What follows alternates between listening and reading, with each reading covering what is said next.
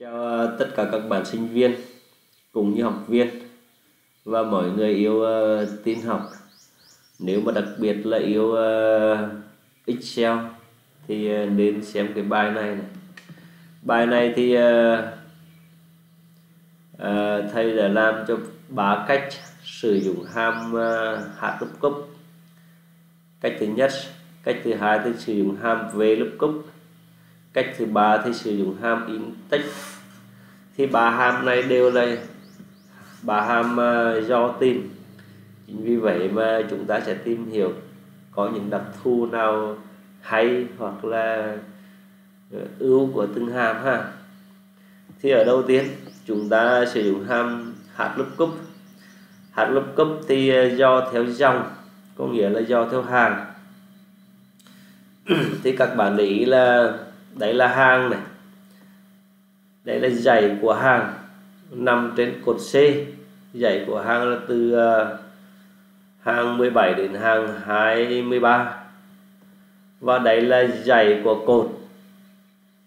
Nằm trên dãy của cột các bạn này.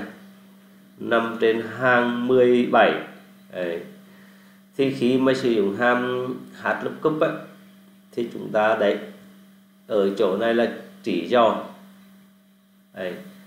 và đấy là hàng cần dò thì ngược lại hàng uh, hàm uh, về cúp thì đấy là đấy là chỉ dò và đây là cột cần dò đó về lookup còn index thì cũng tương tự. Dạ, uh, index là đấy là bảng. Và đây là dãy của dòng, tức là dãy của hàng, nằm trên cột C. Và đây là dãy của cột nằm trên hàng hàng số 7 số 17 ok. Chính vì vậy mà ta định hướng được thì ờ, làm rất là đơn giản. Đấy. thì chúng ta nói nhiều quá. Nói mất 2 phút rồi. Chúng ta vào làm như sau. Đầu tiên, chúng ta sử dụng hàm lớp lookup cách 1 thì đầu tiên cũng như ờ, các bạn để ý này. Bằng.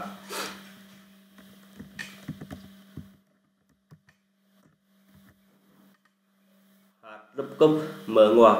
Để chỉ cho các bạn này. A, b lên lấy chỉ cho. Thì ở cái chỗ mã hàng này, thì nó sẽ nằm bên phải của mã hàng ha. Thì chúng ta sử dụng hàm right lấy một ký tự a, b A hoặc B. Đấy. và rồi thì phẩy một cũng được mà không phẩy cũng được các bạn. Rồi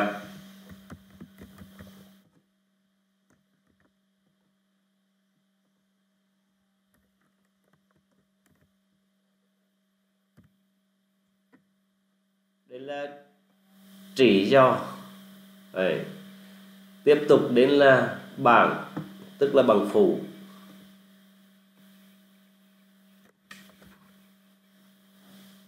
Sau khi mình ờ, quét xong rồi mình nhấn phím F4 để cho nó cố định trong ờ, trong bảng này có nghĩa là về giá trị tuyệt đối. Ok vậy đây là chỉ do đây là bảng do và tiếp tục đây là hàng cần dò hàng cần dò thì hàng L1 L2 vân vân thì nó sẽ nằm bên đây. Thì trái đấy các bạn này mà hàng này Đấy, thì chúng ta sử dụng. Nếu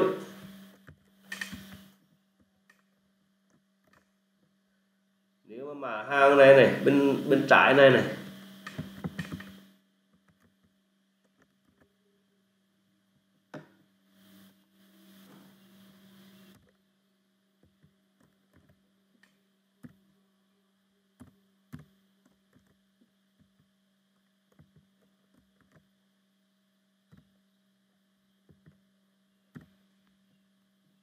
Cho nên các bạn để ý này, nếu lép của B6 này.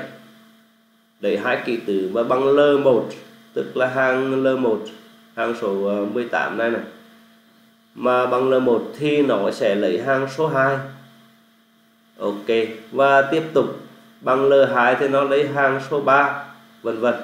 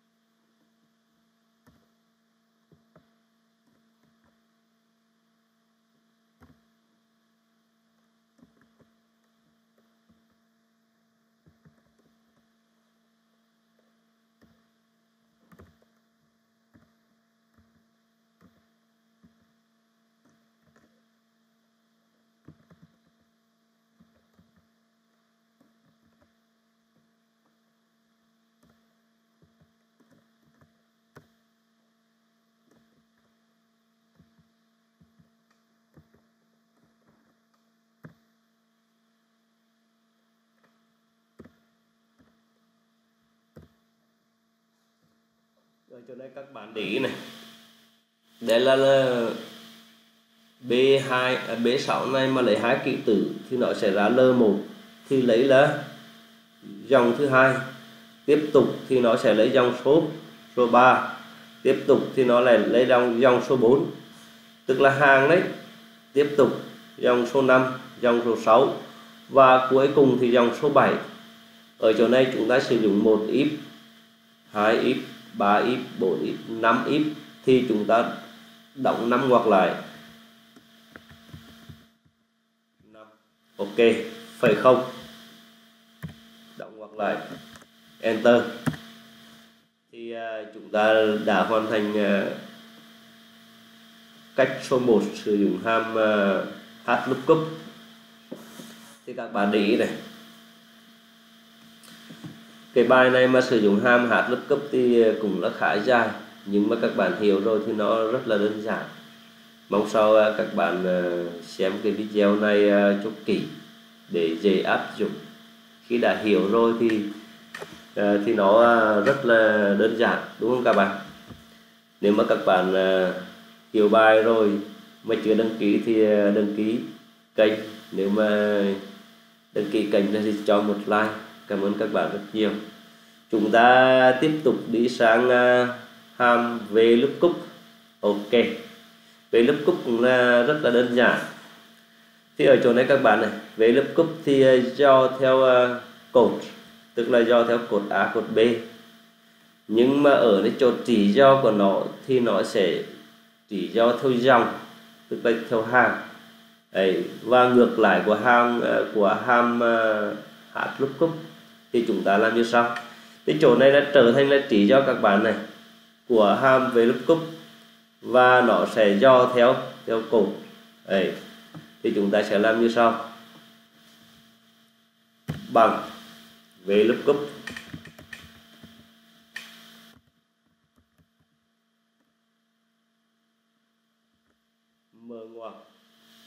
để chỉ do này chỉ do thì uh, chúng ta sẽ sử dụng ham rep để lấy cho hai kỹ từ đầu tiên.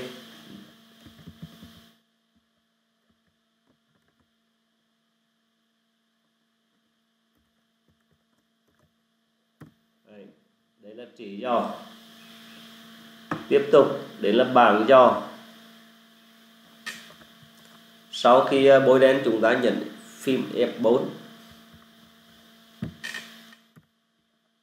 vậy giờ là cột giò. Cột giò thì cột A cột B.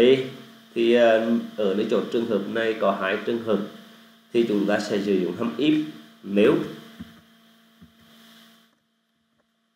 nếu mà roi cái này này bằng A thì nó sẽ cột số 2 nếu mà bằng B thì là cột số số 3 hai uh, biến thì uh, một ít đúng không ạ?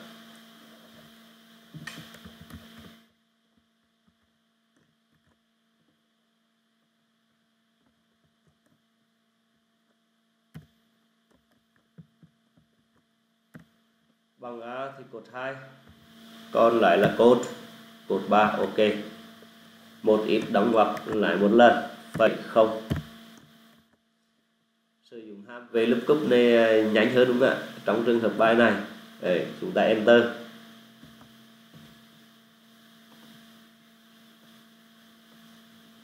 Sau khi sử dụng ham về lookup thì à, kết quả của hai ham này nó bằng nhau giống nhau chứng tỏ là mình làm đúng đúng không?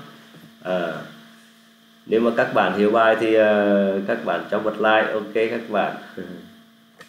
Tiếp tục chúng ta sẽ sử dụng ham index. Index này cũng là một ham rất là hay này. À, nhận dạng của mai uh, của ham index đó là gì? Chúng ta sẽ biết được. Đấy là dãy của dãy của cột nằm trên hàng số 17 và đây là dày của hàng nằm trên cột C. Ok, chúng ta làm như sau. Bằng in index mở ngoặc. Đầu tiên là chúng ta bôi đen bảng phủ. Sau khi bôi đen, chúng ta nhận F4 để cho nó cố định. Tiếp tục. Sau đó là chúng ta sẽ à, do theo dòng có nghĩa là do theo hàng thì chúng ta sẽ sử dụng hàm à, match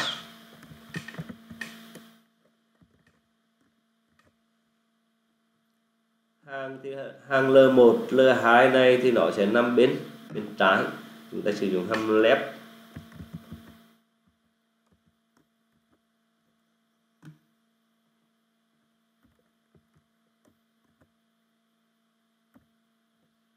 tiếp tục là dày dày hàng. Đấy, dày hàng đây. Nhận F4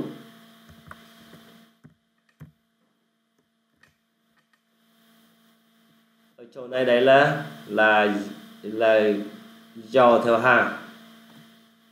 Tương ứng với bằng phủ ok. Giờ chúng ta sẽ dò theo cột. Thì cũng tương tự thôi. Cột đấy là là B thì nó nằm bên phải. Match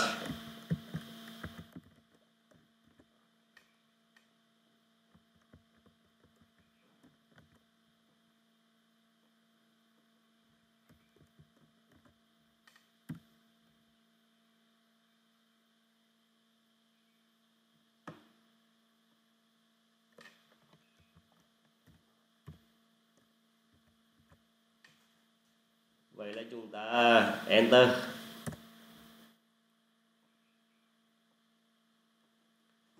Đây. thì ờ, chúng ta đã làm ờ, ba cách trên một bài toán ờ, Excel. Thì cách số 1 đó là hàm về hạt lookup cách thứ hai đó là về lookup cách thứ ba là hàm index nếu mà các bạn à, thấy hay, hiểu bài, cũng như đam mê về Excel, thì à, nếu mà chưa đăng ký thì đăng ký cho thầy. Nếu mà đăng ký rồi thì cho thầy một like. Thầy cảm ơn các bạn rất nhiều. Thầy tin tưởng là các bạn là một à, một người rất giỏi về Excel, nói riêng và tất cả các môn nói chung. Ờ, chào tất cả các bạn. Bye bye.